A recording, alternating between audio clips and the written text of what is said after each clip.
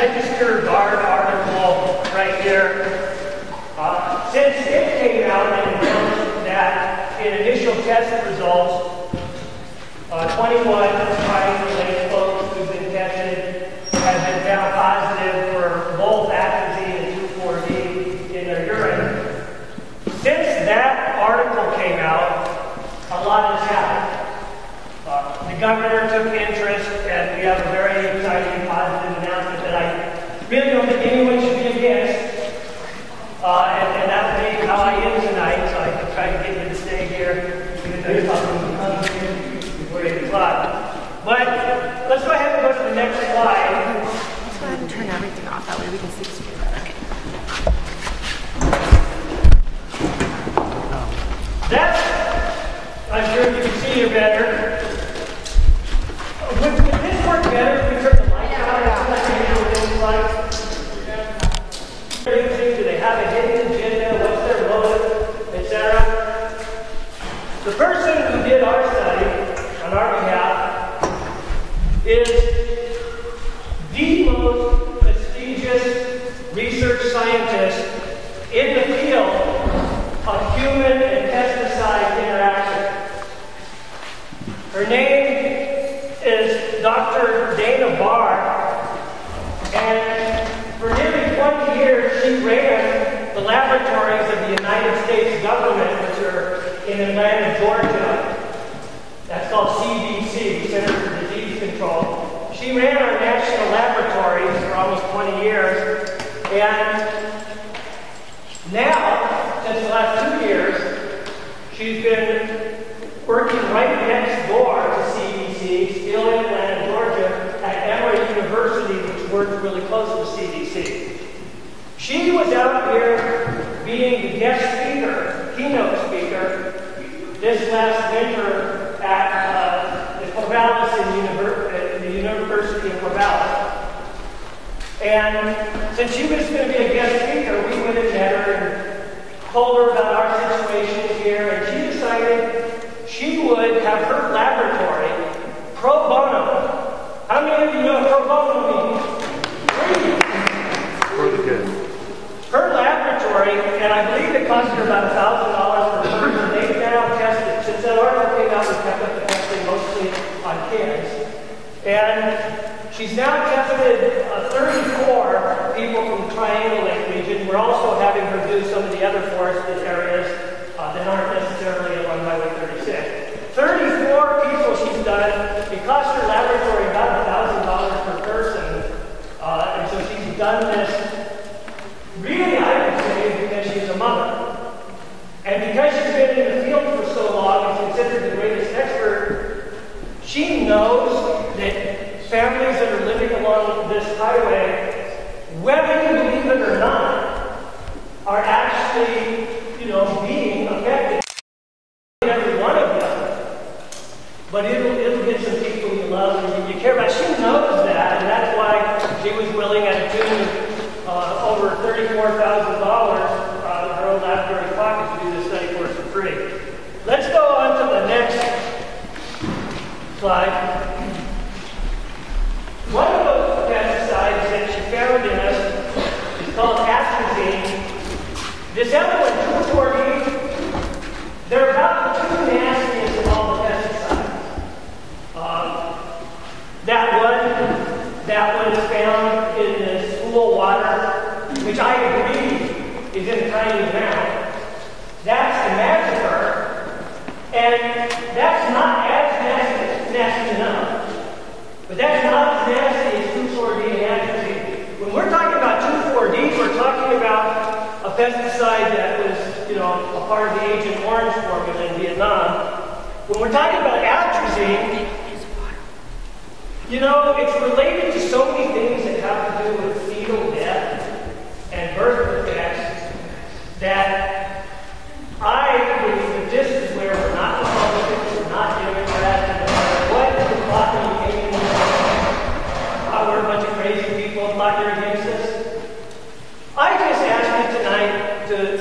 mind is the possibility that we can still do everything we're doing here, all the lobbying we want to do, everything can happen, and just not have these things get in our ear. It's not very hard to have an the result that comes out of the study. Now that the governor's involved, because that's what he wants. But a brand new, you know, besides fetal death, birth defects, low birth weight, premature birth, how weird is it that actually turns male frogs into female frogs that can then only give birth to other male frogs? And now, uh, of the 34 of us that have been tested, the last dozen or so having been kids, mostly from Triangle Lake so hey, 100% of us have been found to have the atrazine in us and the 2,4-D. And yes, relatively small doses, but actually, Dana Barr, the picture I showed greatest expert in the field, she was shocked. Here's why she was shocked. I told you she was a guest speaker at the University of Corvallis this winter. So what she decided to do was to jump right on it and have a bunch of us get tested right then when it wasn't spray season. She said that would be our baseline. And she expected it to show that we didn't have any in us during winter. But it showed that 100% of us did have it. 100% of those first 21 people had it in us in the winter. And then she said that that growth goes with a growing body of evidence that shows that even though for years we've been told that the atrazine and 2,4-D just flush, if you get exposed, it's going to flush out within 24 to 48 hours. These studies that Dr. Barr is citing show that this ain't true. It's in your body fat. So, what she told us in the winter was, okay now, you've done your baseline levels. You've got right down to a little trillion. We know this is how much is in each of you 21 people. As soon as a spray happens this spring, within a mile or so of your house, go to Peace Health Lab on 11. The doctors there uh, were in charge of our urine the whole time. Way we could achieve it. You had a chain of custody.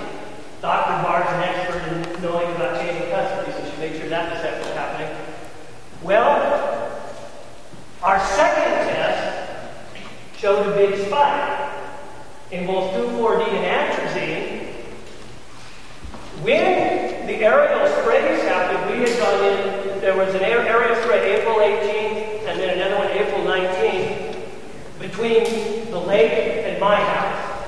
And some of you live, like I do, you know, fairly close where that all happened. And if you were drawing on a map with the Triangle Lake itself, the lake, as the epicenter, those of us that went back to the second test, as you progress out, the farther you go out from where the aerial sprays occurred, people spike less. Everyone, we went out actually three miles, even though Dr. Barr said one mile, we went out three miles. Everyone spiked, which showed that the stuff moved at least three miles. And as the person lived a little bit closer to the epicenter where the spray occurred, they spiked more. Exactly. I mean, as things like this go, this is about close to this slam dunk evidence that illegal chemical trespass occurred. Next slide.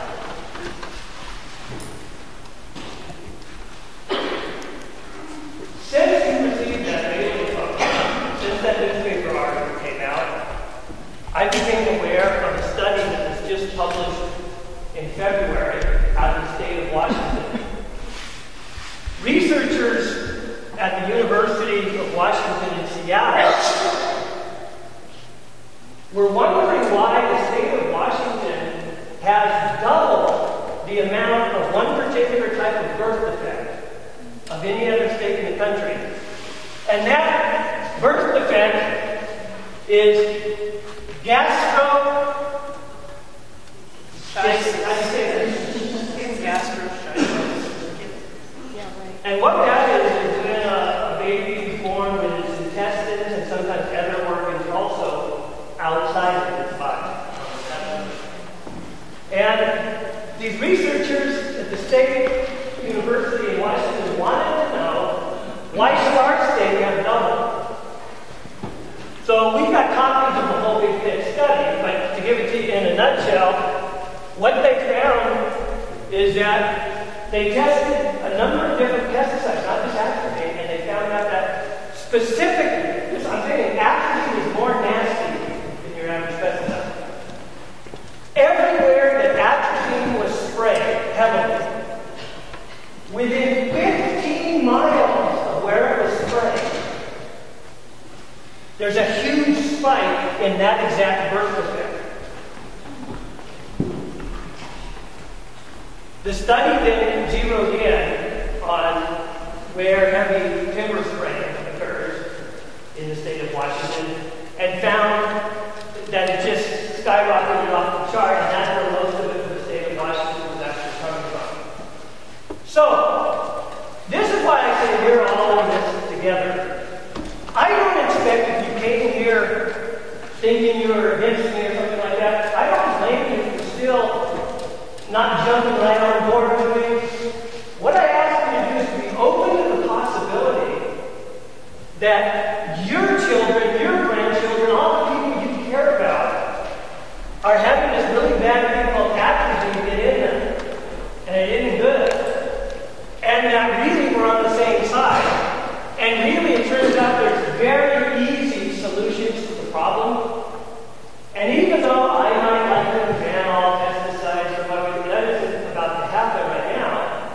What is about to happen is I think we can get them to quit using atrazine because right now, the EPA, as we speak, is looking at making atrazine illegal. It would become an illegal pesticide just like DDT. And we can all hope so because the petition that we have on the table I wrote it an hour before coming here because I wanted something that we can all be in favor of instead of some of this in favor and some of us against. So what this petition is, I hope that any of you would support. What it is, is we're asking the government, since he's taking an interest in this, we're asking the government to simply have his health department do this same study that happened in the state of Washington. What's so beautiful is that it doesn't cost hardly any money. They just look at the statistics, you know, health data banks and compare. Really cheap studies go. And let's find out, we're asking him in that petition, let's find out if the same thing's true in the state of Oregon, and if the same thing's true that in an area like along Highway 36 it spikes really high. I have to tell you that before reading the study, I already know two ladies along Highway 36 who had told me about that exact birth defect happening to their babies. And so I think that they're going to find that the same thing is true in Washington is, is true here too. And I think that together, if we do stand united and don't let people make us bicker, if we can agree on this, regardless of what else we think about pesticides, I don't use them on my land. You know what I do with the uh, Scotch broom is I go out and I spend. It takes me one full day of eight hours a day to go out and cut it off at the base, and that's what I do. You know. But even if you're going to keep using pesticides and you're okay with Roundup and that kind of thing, let's work together to have the governor duplicate this study here. If it turns out we're on the chart for that birth defect, let's ask the governor to make atrazine illegal. You know? If it's in us and it's doing this to our babies, making their organs be born out of their body, we ain't Republicans and we ain't Democrats. We're people. Next chart. And give people jobs to do it. Right. Yeah, you know, when we're talking about solutions, which is going to be uh, my topic tonight, the fact is, is I don't know how many of you know about this, but what just happened this spring, did you notice those work crews along the highway that were removing uh, invasive plants? What invasive plant was that, Aaron? Yeah, the napkins. And maybe you remember reading an article about it last year. Well, that was from us, local people that care about these issues, getting an organization that would come in and remove it just by manual labor, and with donations from some of the people in this room. Um, we had the napkins removed along Highway 36 where they used to spray it for miles. we had it removed just by a crew going out for a day. Can you imagine the employment for our young people if we were doing more of that kind of manual release instead of the poison? So just think about that. But anyways, dangers of 2,4-D non-Hodgkin's lymphoma, endocrine disruption. I used to just go right over that because I've been studying this stuff for years now. I finally went to the trouble of looking up the word endocrine and studying it, and I realized, dang, that's an important word. your endocrine system runs every organ in your body.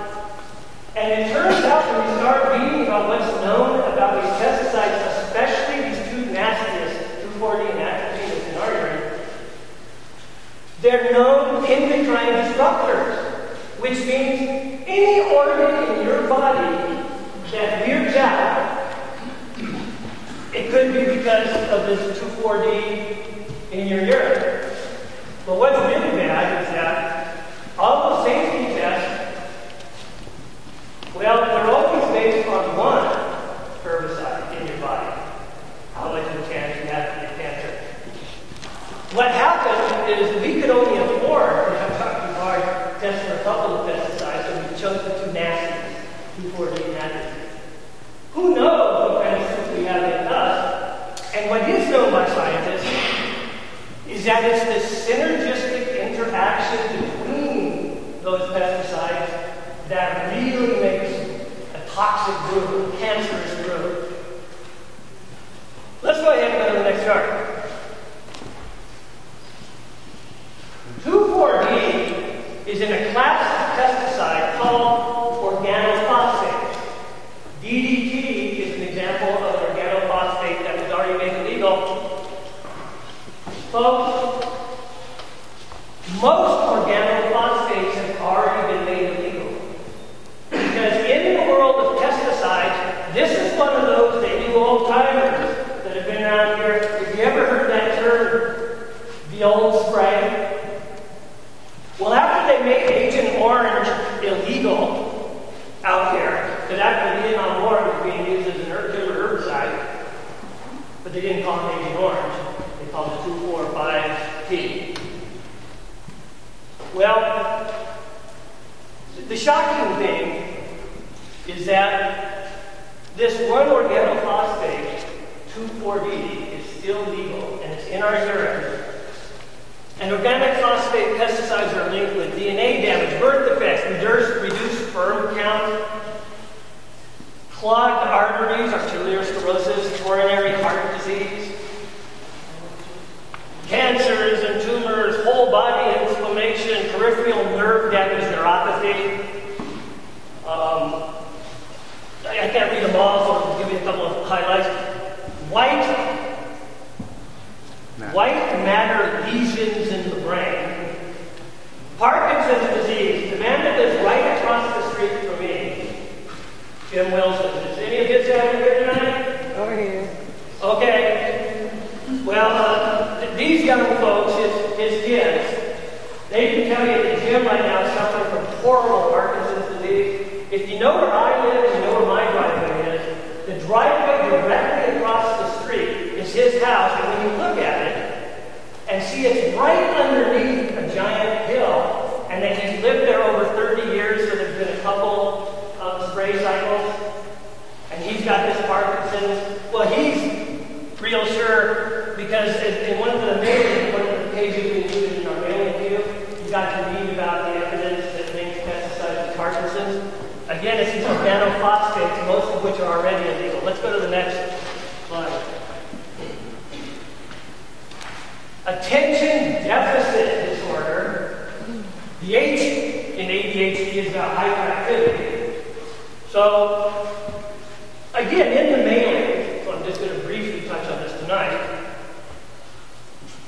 see that in a new study. And again, here's that word organophosphates. Exposure of children to organophosphates in early life can cause brain injury. So this thing that's in 100% of ours, I'm sure it's in all yours, it's in all 34 people that have tested it on 136. This horrible chemical that's in us does that to kids, you see. Next chart. Well, and it also gives them the attention deficit problem and contributes to it.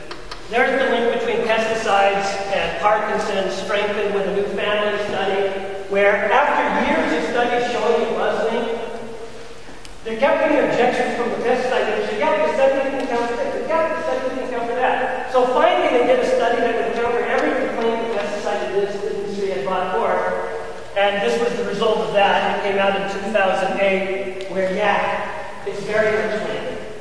Most people who have heart disease is to pesticide exposure. Now, actually category called organochloride. It turns out that organophosphates and organic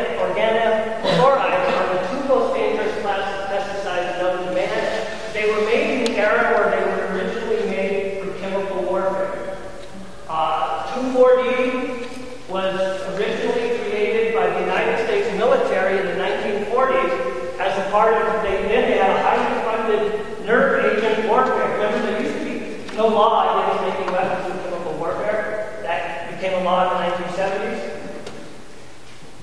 Those voices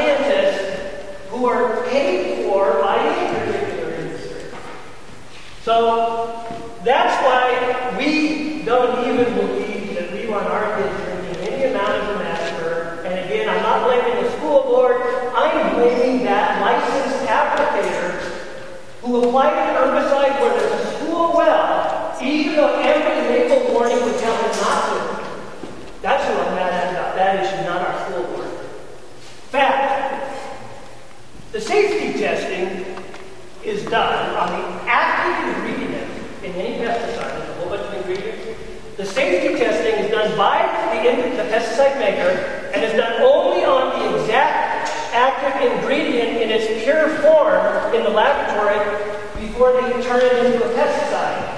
Dioxins, which are the really deadly cancer-causing thing in 2,4-D and all the organophosphate pesticides, dioxins don't become present in 2,4-D until you get to the manufacturing process. So everything that you ever will be reading from the EPA, the government, talking about how much 2,4-D you can have in you and things like that, they're not accounting for the dioxins that are part of the processing process. And that same point that I just made is true for all the pesticides. It's a total racket. You know, as far as um, my own political views, my dad was a staunch conservative Republican. And I disagreed with him on some issues. But one thing my dad instilled in me, and it's one of the key things that has helped me be successful in life, is Republican economic savvy. Things like, you don't spend more than you're taking in, things like that. Well, my dad, before he died, visited me in Oregon one time. And he said that our atrazine that's in us is to get rid of a couple specific plants that you can easily get rid of without, even if you're going to use a pesticide, you don't want to use more dangerous. But you don't even have to use a pesticide because there's easy ways to do it that would employ folks. So I just mentioned dioxins and other toxic contamination occurs after the safety testing is done by the industry itself. Nearly 100% of the testing labs in Oregon are members of a particular timber industry trade group. I found this out by accident. Some of you have probably seen that about once every three or four months I write a, a guest column, you know, a guest opinion for the Register Guard. Well, after I wrote one, some guy wrote another guest column back in mine. And at first I was kind of sad because from some environmental. It was called the National Council for Air and Stream Improvement. And he was a scientist.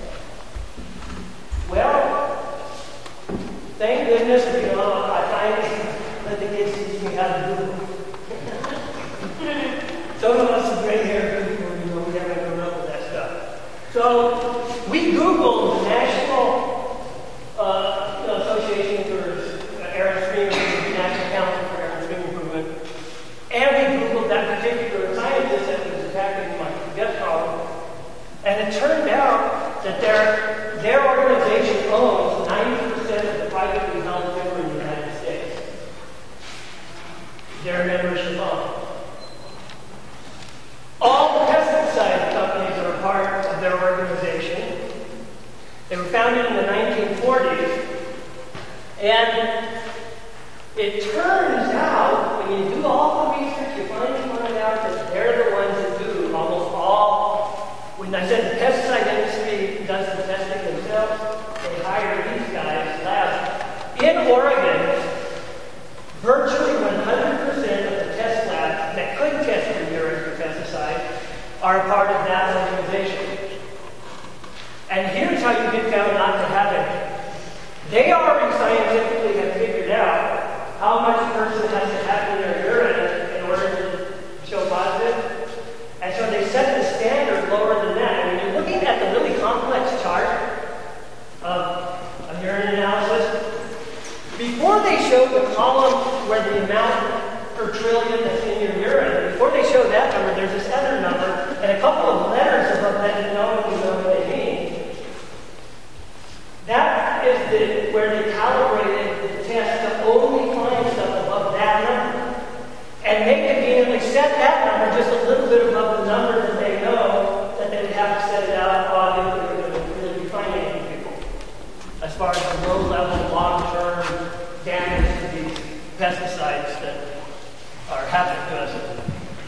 Fact industry related labs only test for levels related to acute exposure, not low chronic, and do not test for metabolites. If you're thinking about, we heard that after we announced our testing that we're doing, we heard through the rumor mill that a particular timber company is paying for some of their friends that along Highway 36 to get tested by lab affiliated with that organization I told you about. And when, if you hear about that or those results, asked them if that test they took tested for metabolites, Because the only way they really find if you have a test you is if they test for metabolites, which are if you have a particular pesticide in you, it does a particular thing, does a certain chemical reaction that creates a particular metabolite that no other chemical on facing here has the same signature.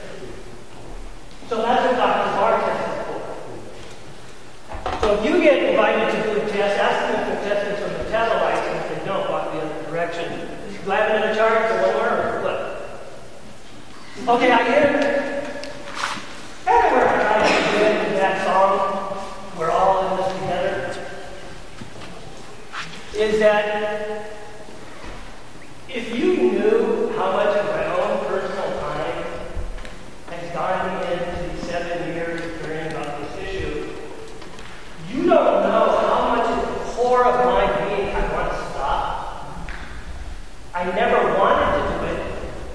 just kept it because we kept finding out new stuff that no one knew about, so we just kept doing it. But what I wanted to end on is just that I don't want to be anybody living along Highway 36, you hear me? I just want us to now have the governor do that same test that happened in Washington and find out if that's actually hard. This woman, I end with her because, well, here's her story. A couple paragraphs my ending, right? Her name is Louise Connolly, and I'm dedicating tonight to her memory. Because she was one of the first ones out in this general area, when she was from the Alsea town, Alsea, Washington. Yeah. So, the same kind of conditions we have, they have there, and they were having the same problems. She was one of the first people to really raise her voice about it,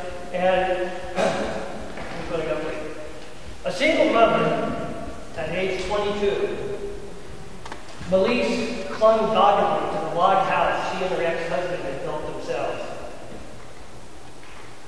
And I have to skip a couple paragraphs a time that describes how she worked her land and made her goat cheese and was really trying to be the farmer girl. After the 245T ban, which one of our speakers is going to tell you about Agent Orange and how we use it out there, um, after 245T, Agent Orange was banned by the Forest Service out here, it announced it would substitute 2,4-D. So this woman that I'm telling you about had one of those really close exposures in that the stuff was actually spraying,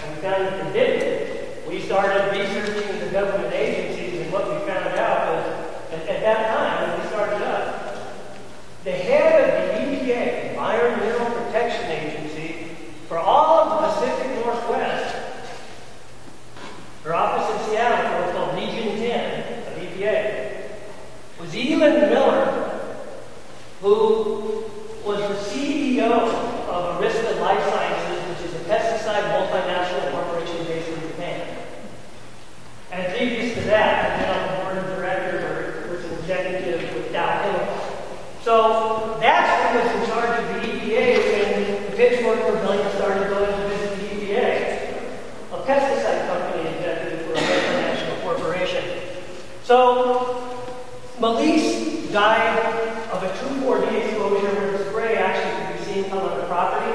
So that was an extreme case. Exposed to 22, dead at 32. Not all of us are going to have the extreme case, but tonight, uh, this meeting here, because she was really, along with the woman who wrote these words about her, Carol Van Strum, this woman and, and Carol who wrote the words about her dear friend are really the two voices that got things going on this issue. And that was 30 years ago, and still, except for getting Agent Orange made illegal, we haven't had one victory in 30 years. Uh, okay, what's next? Uh, I think uh, Aaron, let, let me tell you why to have Aaron show you some video footage, and after that, have your Agent Orange expert uh, looking at the 4 games, the obvious. The reason I'm having Aaron show you this is because if we did live forestry for activity instead of clear cut and things like that, then you wouldn't have the salmon population uh, dying out to the degree it does. And Aaron's going to show you how that happens. You get a lot of pesticides in the stream water where the salmon's already get you savages and salmon. But so does the salmon.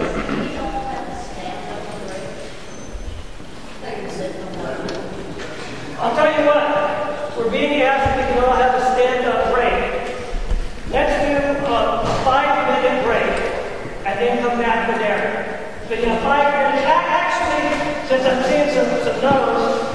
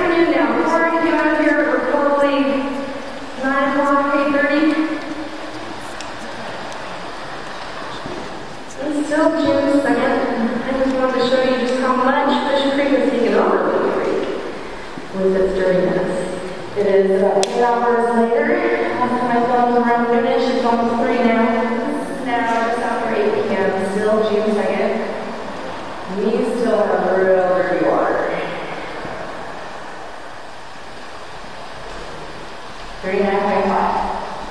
But I look at the water. It's disgusting.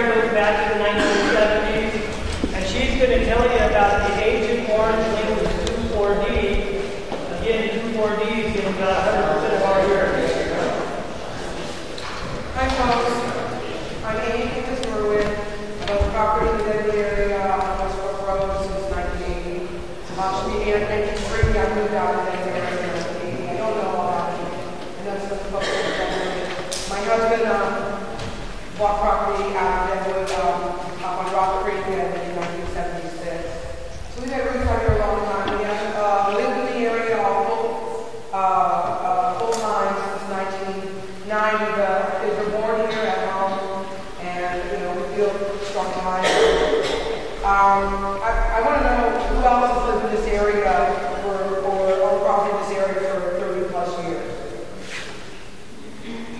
And I also want to know, um, I myself live with basically all the symptoms of a person in Vietnam vet. I was there in Vietnam. And um, my whole family has various symptoms.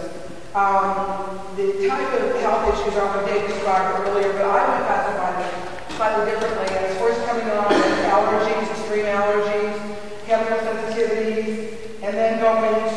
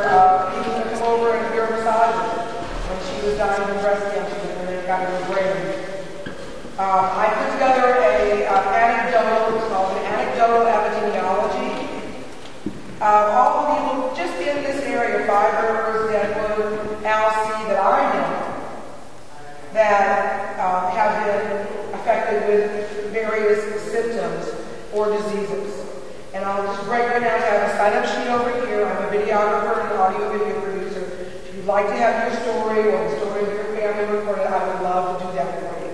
Just sign that sheet, and I will get in touch with you. Okay? Um, but most doc- doctors won't diagnose. I don't believe Dr. Richard is here tonight. I wish he were, because he's seen a lot of you folks for years and years and years, and he knows what to. And for some reason or another, that's not something he's willing to address. I wish he would. I believe he's one of our best um, resources, and I appreciate that about him. Um, prior to the 1970s, many of you local counties know that we went out to clear cut, you burn, and let the forest regenerate, and that's the way forestry was done. Excuse me. And um, in 1973, they stopped, uh, the military stopped using uh, Agent Orange in Vietnam because of uh, toxic injury and dioxin poisoning. Now, TCDD dioxin, excuse me, really loud, excuse me. TCDD dioxin is a uh, manufactured byproduct, not just of 2,4-D or 2,4,5-T, but of both of them, each of them. And those two chemicals together made by Dow Chemical are what constitute Agent Orange. And about in uh, 1973, um, uh, professor from OSU, a guy named Jim Norris, was apparently the gateway between Dow Chemical and the Forest Service out here, the Siuslaw National Forest. Operated somewhere or another, well actually it wasn't even Siuslaw, it was down in Takilma, down in Southern Oregon. And they started testing spraying down there. And a biologist, a uh, chemist, and a physicist from Takilma up and confronted Professor Norris, and they stopped. So then a few years later, around 76, another professor from OSU, a guy named Mike Newton, who basically I refer to as mental abuse, he started uh, experimenting on him without even knowing it. That's a harsh statement, but you've got to think about that.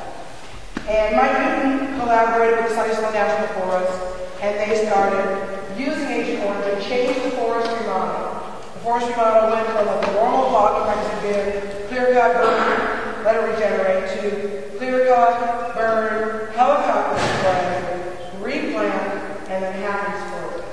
And many, many, many, many people, even to this day, working for private timber operations or regeneration companies are caught up in that cycle. But back in the day, back in the 70s, was the Sizewell Workers going, and it was the Hoedads. It was all over. It goes all the way from Northern California, all the way up the Olympic Mountain Range. It goes all the way through the Willamette, all the way up. And I have friends, I have a friend who was videotaped for PBS who explained to me that she literally gave birth while being in the Hoedad camp um, up in the Willamette National Forest to what she calls protoplasm. And she was about five months pregnant. And um, the birth defects directly from the Agent Orange were things like what Dave said, but also tough palates. I have a young niece, kind of, from Deadwood, who were very, who was born with tough and very little here, and her husband Ernie total mensches, my culture, that means excellent people, and got the surgery together for her to have that repaired, and now she's pregnant with a baby. I was just at her baby shower yesterday, and I was making prayers for that child every single day. And so that's the forestry model that exists today. In about 1983, people from uh, Five Rivers and um, Deadwood have been working for a number of years through an organization they call CAT, Citizens Against Toxic Spray. One of them is right here, Bill Serino. And he and Carol Lundstrom and other, uh, Steve Hager, a biologist, PhD, and another man who was um, uh, got brought the evidence to then Congressman Jim Weaver about what was happening in Alsea, Five Rivers, and Deadwood, and how much uh, miscarriages were happening up in Alsea in particular, but all kinds of other health issues that happened in the Deadwood area. I, I, I have anecdotal epidemiology, and I want to hear your stories. So we put that into and present it to the EPA, and present it to the governor, and present it to whoever will listen to Weyerhaeuser. For instance, and um, in 1983, at a congressional hearing, Professor Mike Newton from OSU literally forwarded to Agent Orange 245T and 24D on his wife's leg, how harmless it was. And of course, it's got to be happy because you don't get an acute reaction to it that way. It's not instant, it's lifelong. And the reason it's lifelong, well, let me finish one. So, the outcome of that congressional hearing was that 245T was deregistered, which effectively means it couldn't be manufactured anymore. So they just took it over to New Zealand and started manufacturing it over there. I have a video documentary to show you that. Not here, they left nearby that took anyone wants. And the way TCDD dioxin works, and that's why it affects the fish, is it attaches to sediment. The molecule attaches to sediment. And then with all the rain we have out here, it moves through into the. And a professor that I've interviewed um, with NOAA, the National Oceanic and Atmospheric Administration, um, when asked, how do you test for TCDD dioxin? It's not a pesticide. We don't test for it. It's considered a POP, which means persistent organic pollutant in the environment. So they don't test for it. Now, why don't they test for it? What TCDD dioxin does to us. It affects the mitochondria. What's mitochondria? Big word again. It's the energy type of our cells. So it's going to be passed genetically. It can affect any organ in our body, any system in our body. And it uh, mutates them. So they don't test for TCDD dioxin. Why not? What do you think? Is it liability, property liability? Is it uh, people? Uh, is it liability for the government? What they're going to do to try to clean this mess up and degrade it and allow it to happen? Do does our community want this known? Because it does affect our property values. It's a concern for us. We want to know because it's shameful and humiliating to have disease. Because we want to be healthy, perfect, life human beings, specimens. It's very hard for people to accept that this is happening and they won't test for it. I think that's one of the things we need to ask them to do. So that's pretty much what I have to say. This is what we can do. We should be demanding from our government, from our state, a full, not anecdotal epidemiology such as I've collected, but a full epidemiological study of anyone who's willing to participate. We need to explore and research if the government's fear of liability is at the heart of why they will not test for TCDD dioxin. It's a pristine environment. Another test was done in the Red River Valley of North Dakota because all these people were getting pure agricultural environment. no um, uh, manufacturing going on whatsoever. Yet, in that environment in, in North Dakota, people had a really high incidence of neuromuscular disease, Parkinson's and such. And what they discovered is that the pesticide attaching itself to the pollen and getting right into people's mucous membranes, third delivery system. So, there's another man here who's worked in New Zealand on citizen inquiry on toxic substances and toxic, toxic injuries. His name's Tom Kearns. He's a member of the OTA board. And I think we should be doing citizen inquiries and town hall meetings like this all over the communities that have been affected. Uh, 600 people signed a petition in, in about four years ago and got nowhere with it with our state agency called PARC, which is supposed to be investigating uh, pesticide issues. Um, we need acknowledgement that this is real. We have it, it's real now. Day and others, um, bless their souls, have taken upon themselves to do the hard gritty work of making know this is real. We need an acknowledgement. A year ago, the Aspen Institute in Washington, D.C., run by a man named Michael Walter Isaacson, negotiated a, settlement, so to speak, between the government of Vietnam and the United States government. And it was an acknowledgement of dioxin poisoning and toxic injury in Vietnam. Now we have the proof of it here. Carol Van Strum did library, and others like uh, Gary and Jalen and myself, we were scanning just reams of documents in to show that yes, indeed, they use Agent Orange here. So if they are acknowledging um, toxic injury and dioxin uh, contamination in Vietnam, they must acknowledge it here. We just simply need to show them the documentation that they spread. That's simple. Got to be real. That's one thing we need is acknowledgement. Another thing we need is those of us that are sick or whose families are sick, and where children, where children are sick. We need to address the issues of compensation. It's not a matter of how much. It's a matter of acknowledging that we've had ex- expenses and loss of income due to our uh, issues. But lastly, and maybe most important, is we need remediation of the mountains, of the creeks, of the streams that go all the way out to the ocean it's affecting our salmon. And it's going to affect our community for generations to come. So please sign um, up to get your story reported. I really would love to hear from you. Um, you can find me in, um, online at informproductions.com. I'm happy to talk to anybody. I'm happy to answer any questions. I'm happy when I can make time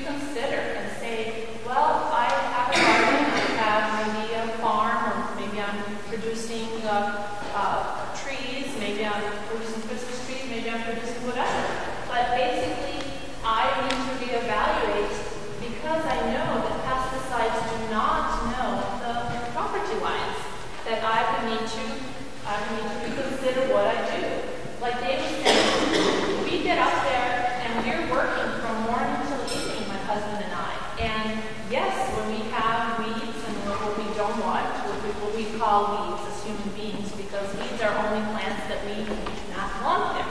And so basically, we go over there and we manually take the brush down. It's more work, but it's worth it. It's worth it for your health, for our health, for health of our air, because again, this stuff travels.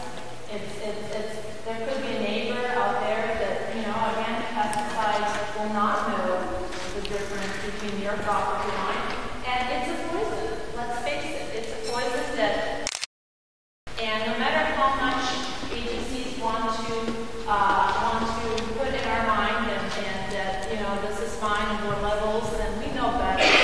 Because when I moved here in 2006, I had multiple exposures where I actually uh, came, I teach people how to get healthy. I'm an educator in health. I'm an herbalist. And basically, uh, I help people to get healthy. But when I came here in 2006, I noticed huge change in my own health. I noticed that things that never bothered me, pollen. Then I started to have some hay fever reactions, and you know my nose would run.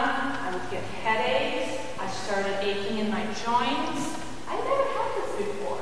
Now again, I am a very healthy person, and I am my own doctor, so I know how my body feels the best. So I have noticed changes in my husband, and I wanted the truth. And this is what this is about. This is about truth. We no longer can keep truth. And I always like to say, lies have short legs. So we better know that the truth will always come out in whatever, in whatever in our lives. So uh, to go back to the solution of the of our own inner choice, of our own choices, is when we have our property, we can choose to do things differently for ourselves, for the air, and knowing that our, maybe our neighbors are not interested, of course, and you know, to nobody wants to get uh, in poisoned air. So uh, informing our neighbors is one thing. We can't make choices for others. You know, we would love for everyone to to understand these facts and these truths, and uh, but we all have freedom of choice. And but we all have heart. We all have uh, uh, loved ones, and we all care. We're all uh.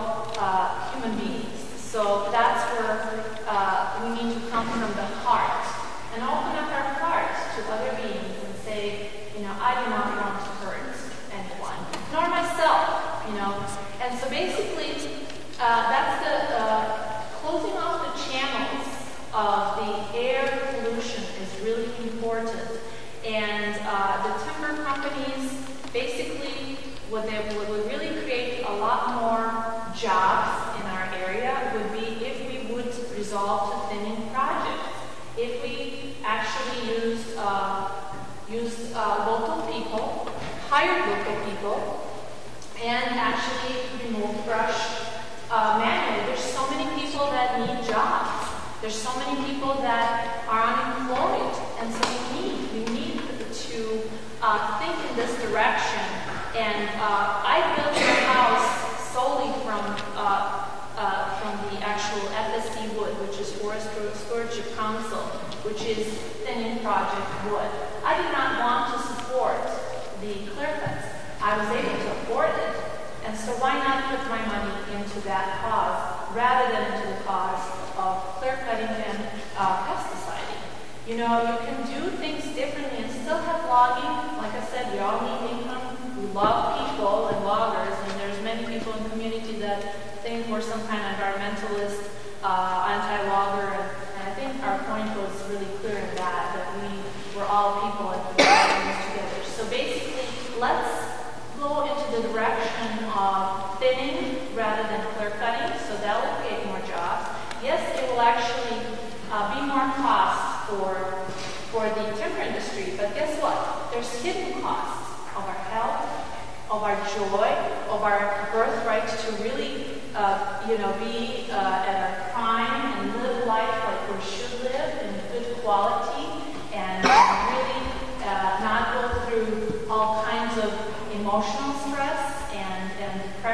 infection is actually caused by pesticides and toxins in the body. I don't know if you know knew that, but all of these different uh, emotional and body elements are all caused of toxic overload. So if we can take that, if you imagine a cup, and then there's like cup being filled with all kinds of different toxins, and basically our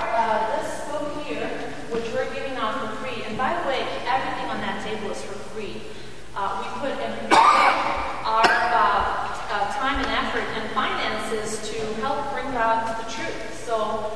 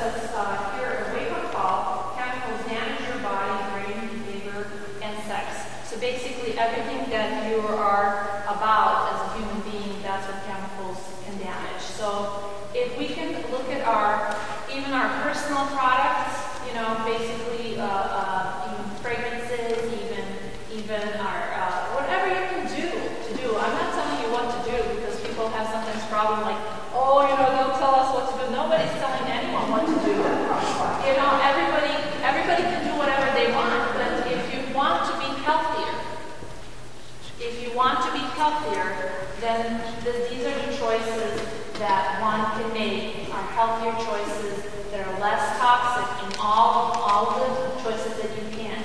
And so basically, when we go back to the thinning project and we talk about creating jobs for our community, and uh, there's a lot of times the timber owners will say, oh, that's a liability issue, having so many people out there, you know, cutting brush and stuff. But wait a minute, how do we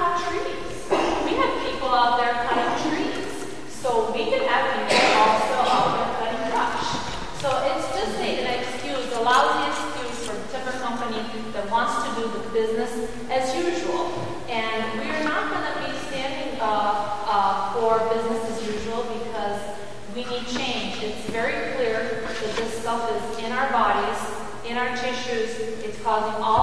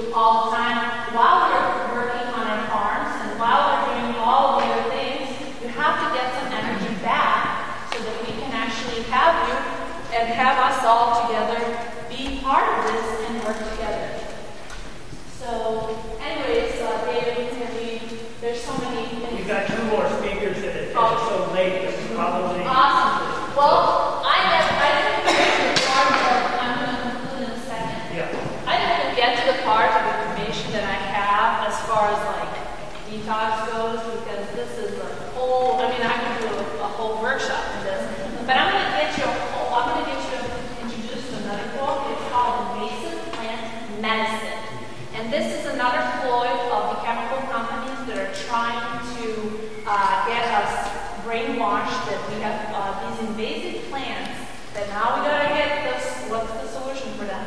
More poison, poison in these invasive plant- plants so that we can get them out of here. They're going to, they're going to eat us up or something. So basically, uh, please get this book, Invasive Plant Medicine. This was actually written by an amazing uh, man, Timothy Lee Scott, and this is your good. What's in your backyard as your medicine? Things that you may be trying to sp- spray for is actually maybe your actually best ally for your health. Starts from uh, then a Japanese knot, knotweed, n- uh, knotweed, then Japanese knotweed, knotweed. All these plants, English ivy, all these plants are actually your medicine. So I encourage you to look at this book and again be your own doctor, do as much research as you can, and please, please, please again, as much as you can, uh, uh, support in whatever way you can uh, this movement and and stay healthy. And uh, peace to you all.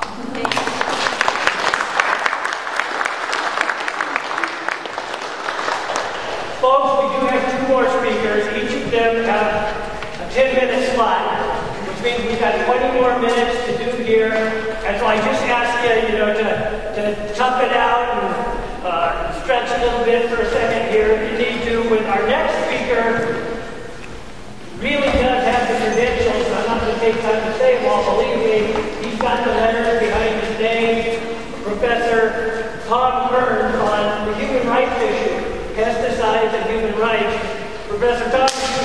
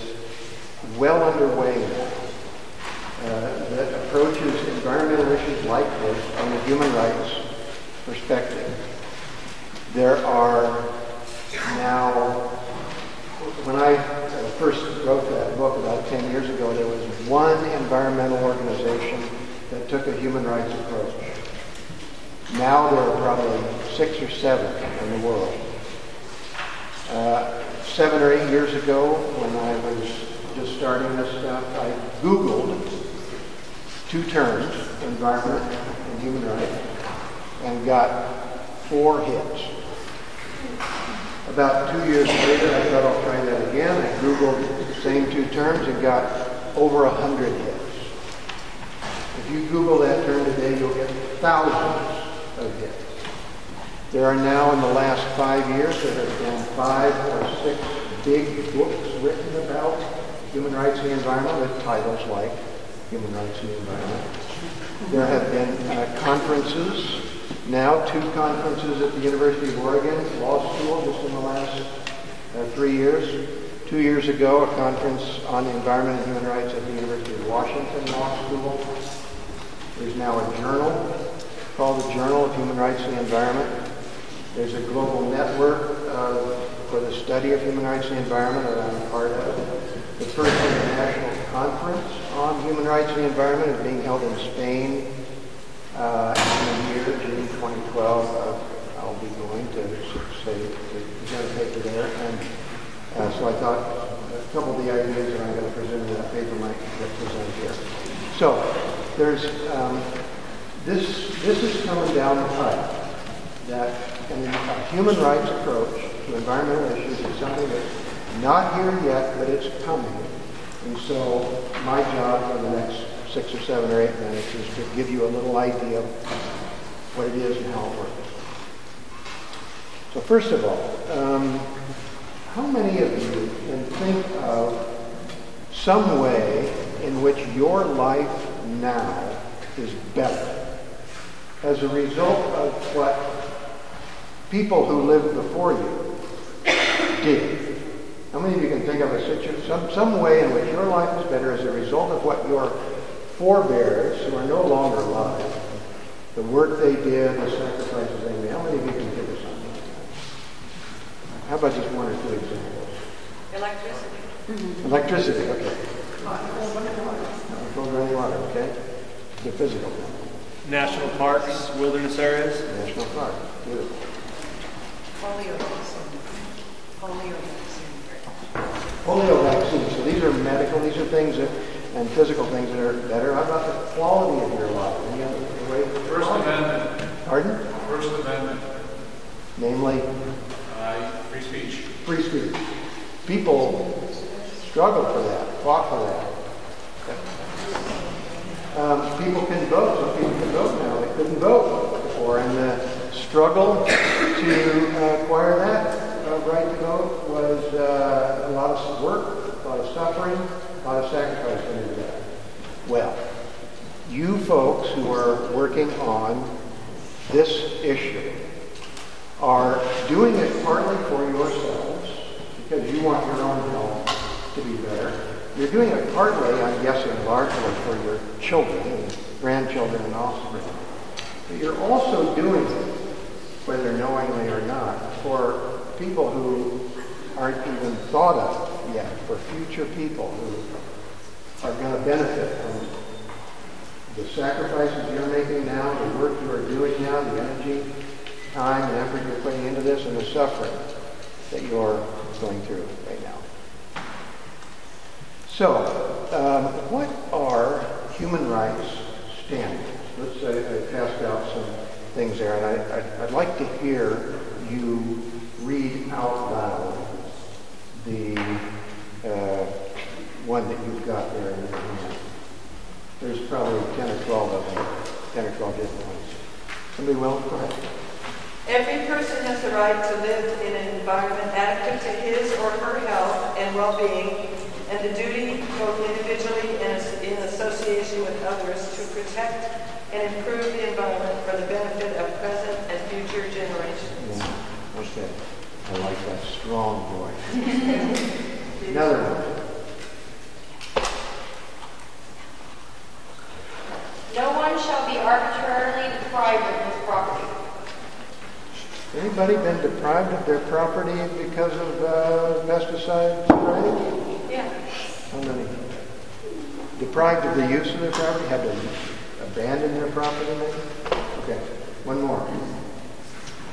States parties to the present covenant recognize the right of everyone to the enjoyment of the highest attainable standard of physical and mental health, and that's from the Convention on Economic, Social, and Cultural Rights. The right to the highest standard of physical health.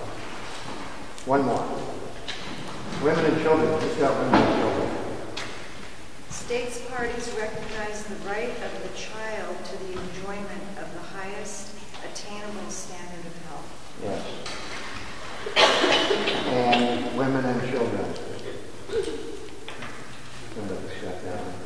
It says women and children have the right to special protection. Uh, so what these are, these, what, what are human rights? Every one of these that you've just read there is applicable to a situation like this, pesticide, basically pesticide trespass onto your body, into your body. The kind of, uh, the, the worst kind of chemical trespass, not just going onto your property, it's going into your bodily. So what are human rights standards? They are, human rights norms is, a, is here's a definition, a justified moral claim that every citizen has vis-a-vis their government. And it's their moral duties that every government has toward every single one of its citizens. If one person's human rights has been violated, then human rights violations have occurred. Human rights standards apply to individuals. They don't apply to groups or to majorities or to communities. They apply to individual persons. So, uh, human rights standards are justified moral claims that each one of us has vis-a-vis our government. Are they legal claims or moral claims?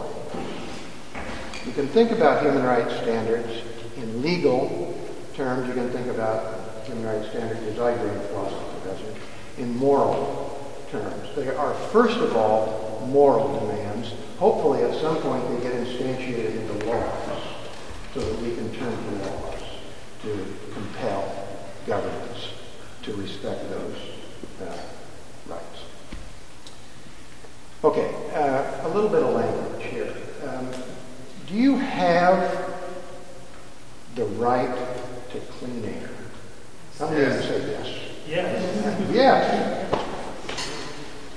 Does is your right to clean air being respected? No. No. Are you so so there's a, there's the difference. You can have a right.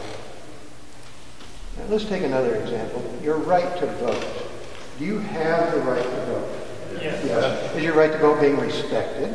Yes. Yes. So you're enjoying the right to vote. Those are the three main terms in, in this kind of discourse. So when it comes to, here's another example. Um, do children in schools have a right to not be poisoned while they're in school? um, you'd say yes. Yes. Yeah. Is that right being respected? No. Uh, so are they enjoying children enjoying that right? No. But, interesting thing, just in the last, uh, about two years ago, the Oregon State Legislature finally passed a, a law that's going to require it's going to prohibit schools from applying pesticides, herbicides, or insecticides, or any kind of pesticides in schools. Uh, with very few exceptions. So no herbicides or pesticides can be applied for preventive reasons, no, none can be applied for cosmetic reasons, and none can be applied routinely on a schedule. There has to be some specific uh, need. So there's an example of a law that we didn't, that we have, children have, and it's about to be, it goes into effect July 2012. Uh, it's about to be respected, and children are about ready to be able to enjoy that right. Uh, okay, so uh, we would like, we prefer to have these things instantiated in law because laws can compel behavior. That's what we like about laws. Uh, as opposed to moral standards, which at first glance we think maybe laws can compel, moral standards can't compel. But not so simple. Moral standards can compel behavior too. They just do it in a different way. And that's what Gandhi was all about. Gandhi, moral standards can compel behavior with a different kind of force than law uses. Gandhi called it truth force or moral force. The, the Hindu word for that, Hindi word for that is satyagraha. And uh, so his way, nonviolent resistance, um, the uh, people, the victims of abuses, uh, standing up and being more dignified than their perpetrators, being more honorable, acting less violent than their perpetrators. All those are important standards and ways to compel and eventually uh, changes. So, what do you hope out of all of here? What do you hope from uh, human rights standards, moral standards? Uh, human rights, three things. Uh, human rights standards can uh, inspire to change and lead to change, can be guidelines to change. Ideally, we want, for example, the right of women and children to special protection, the right of everyone to this highest standard of health. We want those to, we want the world to change so that those are respected and that we can enjoy those rights. But that's going to be a long road before, you know, it's not going to happen in the next few weeks.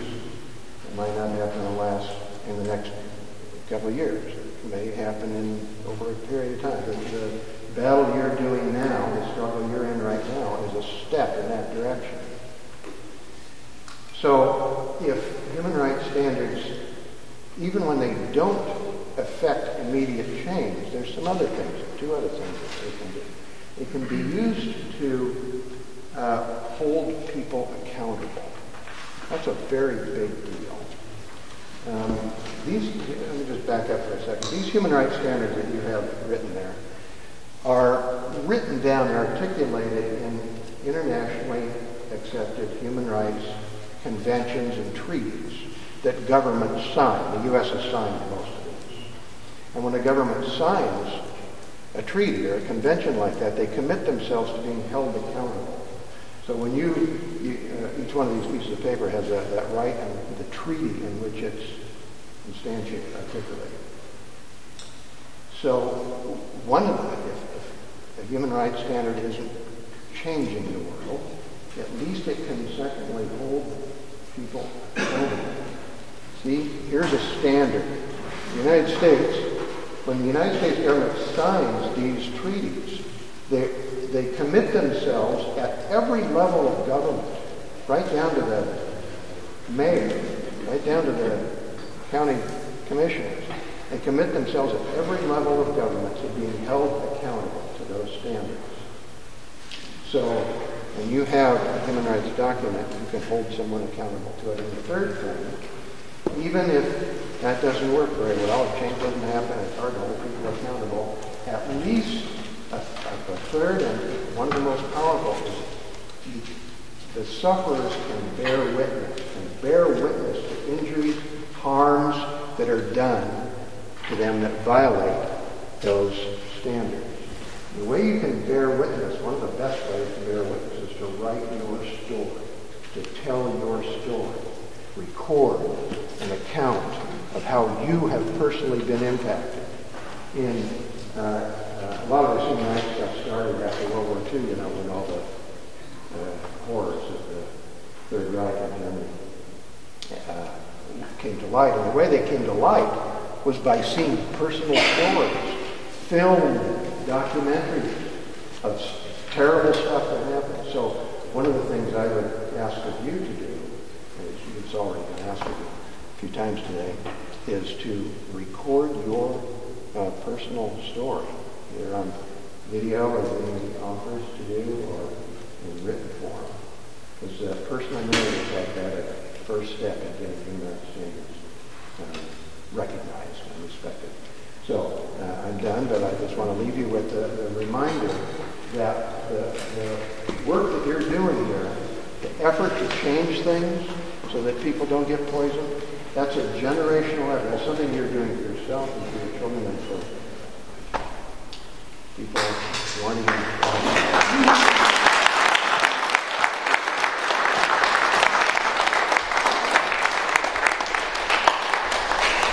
Professor Tom Kerns, a smart man. We end with a 10 minute slot given to my wife. I can give you the announcement of what the governor's office called and told us. That I've been putting you off on. I'll that'll only take one minute at the end of her. Governor's announcement to us. Thanks, you guys, for, for being here. And I'm going to do as Tom Kerns uh, suggested. I'm going to tell my story about how I've gotten poisoned in the last few years since I've been living here. And um, I also encourage you to tell your story too, because it is important. So thanks for that tip, Tom. Um, when I moved out here seven years ago, I didn't realize the issues of this uh, aerial spraying that was going on here. I was informed about it from some of our neighbors and good friends, and um, I had a lot of compassion for the stories that they had told us of them being sickened and um, people being rushed off to the hospital, people with cancers, testicular cancer, all kinds of uh, birth defects, and all this kind of stuff. And so we, we took it to heart. We believed what our friends were telling us. When we, knew, when we heard the truth, we knew it was the truth. And I'm here today on a mission. My mission is of peace, of truth, and of health. And um, yes, when I moved here seven years ago, I um, was a healthy uh, mother of five and now a mother of six because I've adopted a local girl um, that uh, lost her mother recently from this neighborhood. Um, her mother passed away um, less than a year ago. So I'm a, a proud mother of six beautiful children. And when I moved here, um, I had great health. All of my kids are born at home. All the children breastfed. All of them grown up on organic food, a pure water, and um, just plain organic love is what, what we're all about. Well, when we had our first exposure to chemicals, of herbicides uh, exposure, helicopter uh, exposure, that was on October uh, 12, 2007. Roseburg Timber was doing a spray just a half a mile uh, west of us. They did. They started that spray real early in the morning that day, and I am an outdoors person. Um, I'm a farmer, gardener. I raise um, animals, uh, dairy goats, sheep, horses, uh, poultry, uh, an organic garden and orchard, and all of these types of things entails being outdoors a lot, which I love. I love the outdoors, love nature. When I moved here, I was told by the faculty of this school that I had just moved into God's country, and I believe it. I actually believe every part of the, the earth to be God's country.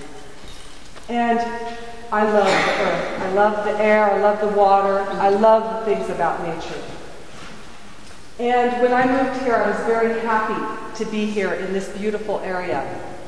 As I said, that day when they were spraying, About an hour into the spray, I had about a four or five hour exposure that day. They were spraying for hours. Uh, Roseburg Timber was spraying that day. And you could hear it, you could see it, and you could smell it, and you could even, um, within, like I said, within an hour of the exposure, I was getting sick.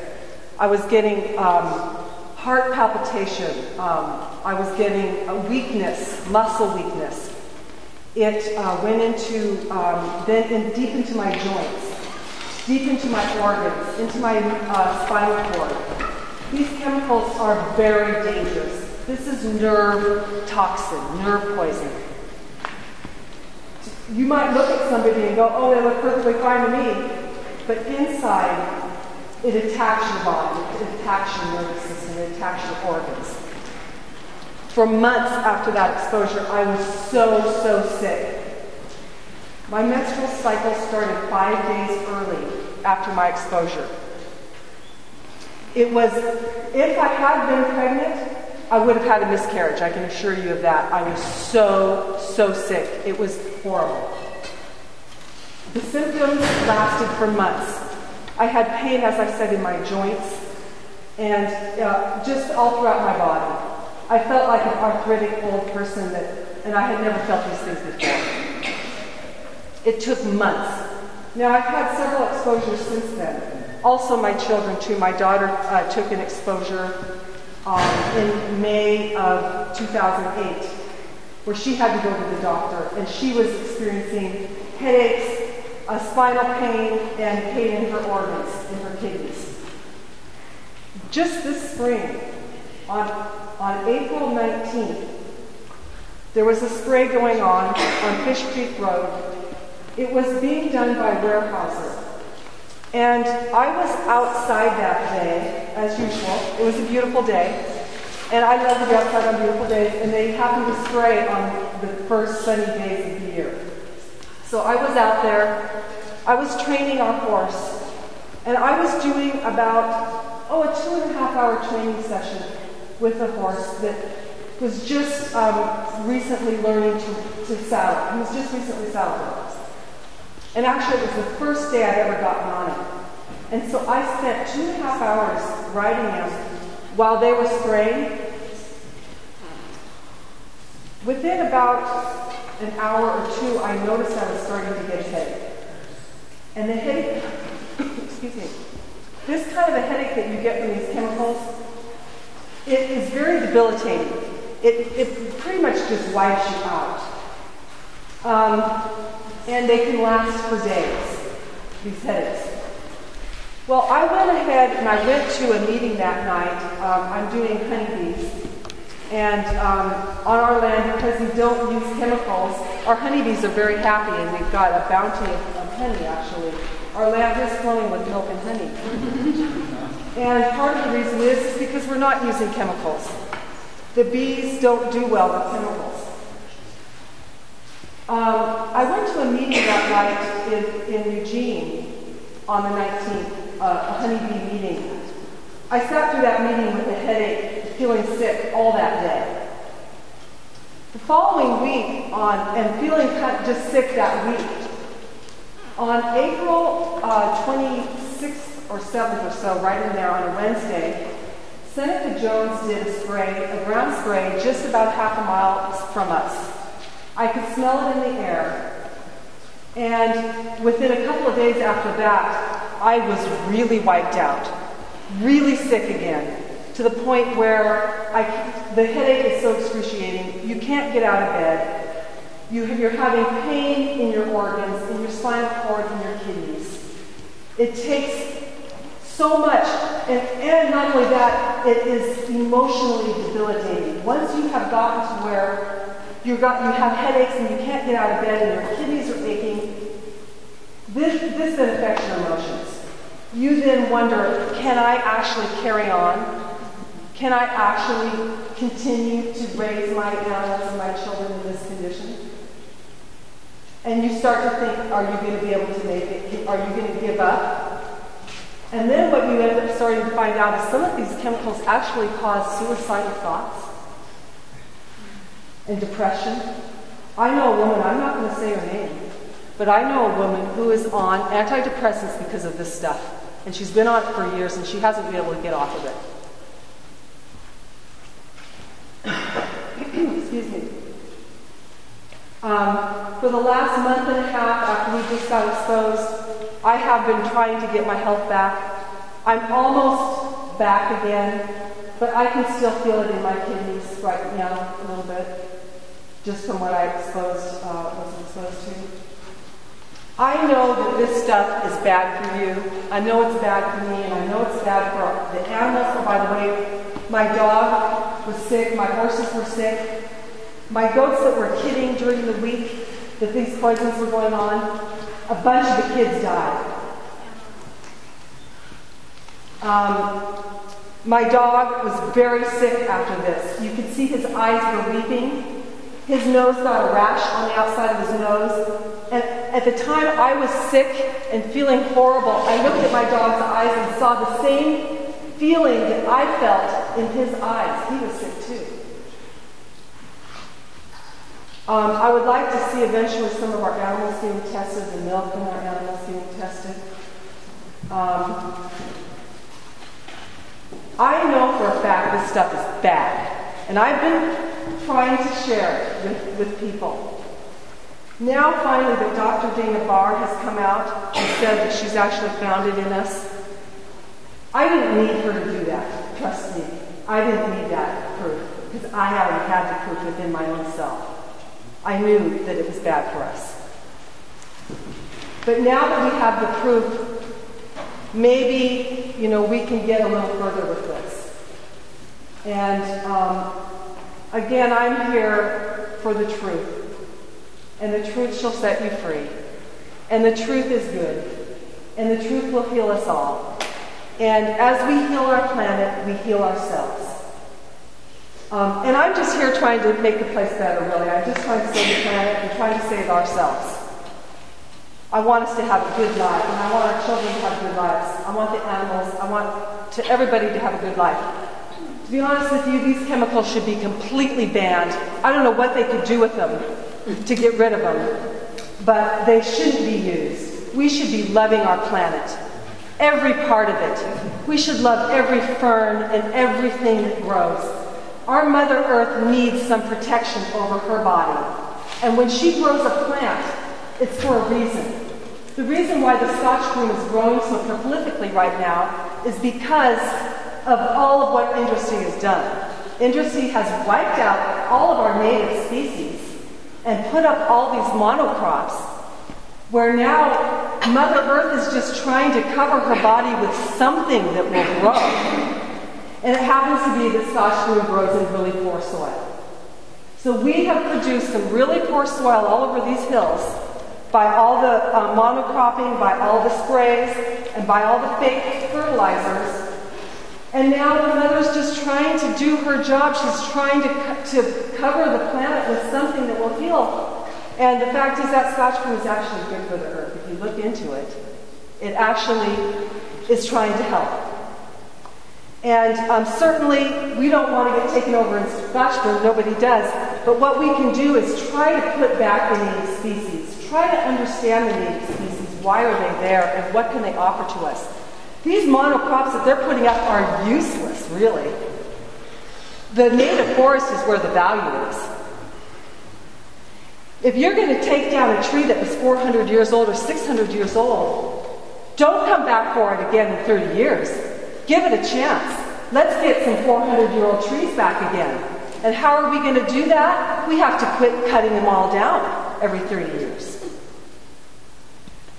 There is a lot of value in a native forest, tons of value. There is all of the native um, medicines that grow, the mushrooms, all of the, the various foods that we can actually harvest, the berries and things. There's a lot out there. These Franken forests that out here are worthless, just plain worthless. And um, let's get back what is real. And our native forest is what's real, our native species. So thank you so much for all of your support. And I know that we can easily fill this room with people who believe like this. But they're probably out there trying to run their farm and run their thing right now. and They didn't have time to come down here. But I know we have a lot of friends. And I know we have a lot of support. And I just thank you all for being here.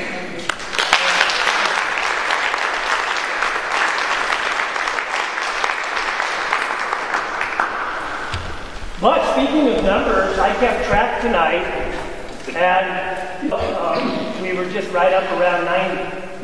We had a very good turnout tonight. Yeah.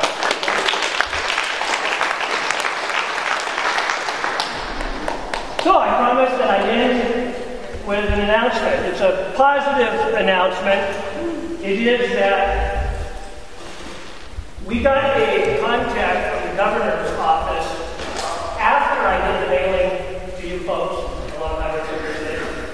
And the contact was that the governor had read uh, a guest column that I wrote, my most recent one for the Eugene Register, which was about this, and I gave you a copy of it in the mailing.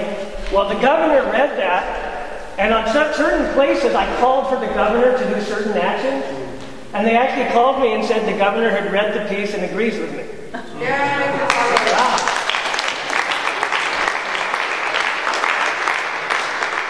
As far as the good thing, they'll never just change the rules without plenty of science to back them up. So the announcement of the governor is that he has accepted um, our premise that right now the only legal person for investigating anything about pesticides in the state of Oregon has been under the direction of a department in Oregon called the Pesticide Division of the Oregon Department of Agriculture. And in its mission statement, it includes the clause to preserve the availability of pesticides. For the seven years that we've been working with the state of Oregon, that's who we've been having to deal with. They are Monsanto, they are DuPont, and they are Dow Chemical, and that's who we've been interfacing with. So what we told the previous governor, and he never even wrote back, but now this current governor actually contacted me back. He agreed that there needed to be an investigation of how 100% of the people on Highway 36 have atrazine and 2,4-D in our pits. So he's ordered the Oregon Department of Forestry to provide him with the copies of every spray that has occurred along Highway 36 for the year 2010 and 2011 He's going to have scientists bring up exactly what's been sprayed everywhere, and then he's sending scientists out to check the water, check the soil, and it's the beginning of what they think would be about an eight-year experience divided into two phases. Phase one is fact-finding, and it is that they now consider it, because they checked into Dr. Barr's results, they now consider it beyond debate, regardless of what industry would take, that 100% of us that live out here have atrazine and 2,4-D in our bodies. The government agrees with that. They think it's true. So phase one is to find out how that happened. And so they're sending in scientists from other states who are America's greatest forensic scientists on pesticide and its movement. And they're going to be doing this for several years. And what they're telling industry is that during this phase one, if you will cooperate with us and allow us to be on your land, checking everything about the operations that you do, under the assumption that if we find that it really is affecting the population, that you, as timber guys, wouldn't want that to happen, and that you would agree to changes. Or if you won't cooperate and let us on your land, then we're going to be just off your land doing the same study anyway. So there are also is some carrot and a stick beyond that.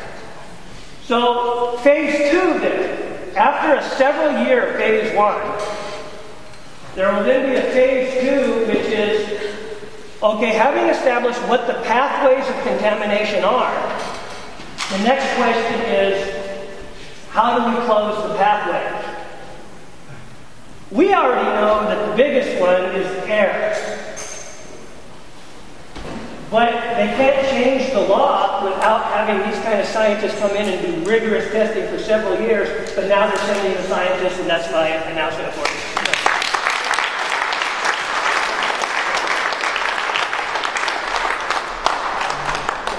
It's late at night, but I want to put in one last pitch. But see that box on the end of the table? All the money that goes into there, Pitchfork Rebellion has never accepted a nickel of donations at events, so don't expect us to accept that. But anything that goes into that box is going to be for new lockers for the kids at this school. Any of you who have ever seen the old lockers know that they don't even work and they need to be replaced. There just isn't the money for it. So anything that goes into that box tonight is going to go for new lockers for the kids. Since Mariana had a wealth of information she didn't get to share in her time slot tonight, she's going to be over by the information table. And if you need to ask her a question because the light went on and you know she has a piece of information or can recommend a book or a cleansing for you, please see uh, Mariana at the table as we break up. Do you have any messages? I, I you asked me earlier she just came up and spoke to me at our first break when we stretched for five minutes. And it takes one minute. Here's what she told me on the break, and I've never known her. I'm 47 years old. I lived in this area for about 10 years. Speak up. I've been in this area for 10 years. A lot of you might know me. I've been at home health and hospice in this area for over 10 years, nursing. So I've been lived a very healthy life after I've heard everybody's stories. I kind of wondered what's been going on with me because for me to come down with thyroid cancer, it's a very aggressive kind in the last two years. I've had two surgeries, I've had radiation, I've had all the symptoms that you guys talk about.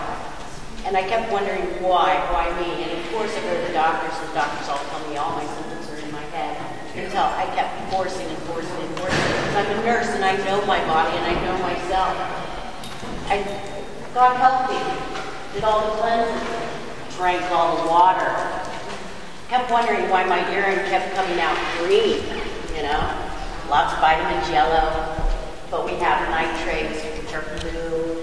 We have a phosphate bomb, but behind us we have the quarries. Urine was green. Why is my urine green? My urine has to be yellow. And the green, or the blue, makes it green. Again, I was forcing the doctors to to listen to me. It took me two years to get them to even listen to me. Came up with the thyroid cancer. Of course, severe cancer. And them to say, well, you've got the good cancer. It's treatable. Isn't that so terrible to hear? I hate hearing that when I go to the doctor and say, you've got the good cancer. What cancer? It's good. I'm going to fight this for the rest of my life. You know? And what gets me is that I kept thinking there was something in the area. The only reason why I came here, and I cried when I sat in the audience, and I wasn't going to get up, but I thought, you know what? We all need to stand together because I've known people that come to this area and leave and probably don't even know and get exposed in 10, 20 years down the line. They're going to have some type of cancer. And we would really like to get in touch with those people. We really want to get their story. We want to show that it doesn't leave just because you personally live in the area. Well, they might not even know. I would have never known unless the letter came and I knew and I didn't come to this meeting. But I've been fighting and wondering why would I come down with this type of cancer? Why would I have been so healthy? My whole family's been so healthy. Then all of a sudden it's progressive. I have stage four. That's the last stage there is when it was found. Lump in my neck. My deepest condolences, and, you know, because I've lived through this myself, breast cancer. What I can tell you with my research is that the chemical companies own, the chemical companies own the pharmaceutical companies. They are making us sick and making, trying to make, you know, providing to make us well. And I'm a nurse, and I've done my own research too, and I know exactly. So please, if anything, come to me. Old stomach. I'm not a fat person. I have a tumor in my stomach. Two months ago, I had a gallstone atta- attack. They could. They took X-rays. They took uh, uh, images, and they said this tumor is between eight and nine pounds. The tumor itself. It covers every organ, every blood vessel in my body. They can't even do microscopic surgery to get this gallbladder out because they said even microscopic go- uh, would kill me. And so I'm praying to God every day that He will let me keep living and being a testimony that these things are affecting people here. And we got to stop it. That's right. Right on, right on. J.D. Bell for you folks, J.D. Bell. Yes.